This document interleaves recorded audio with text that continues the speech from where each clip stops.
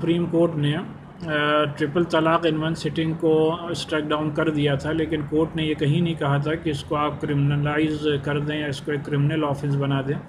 लेकिन उसके बावजूद भी गवर्नमेंट ने इसको एक क्रिमिनल ऑफेंस बनाया, बनाने की कोशिश की। किसी भी भी डेमोक्रेसी में पार्लियामेंट को ये अख्तियार होता है कि वो कानून साजी करें। और अभी ये बिल राज्यसभा से पास नहीं हो पाया, उसके बावजूद भी ऑर्डीनेंस बनाना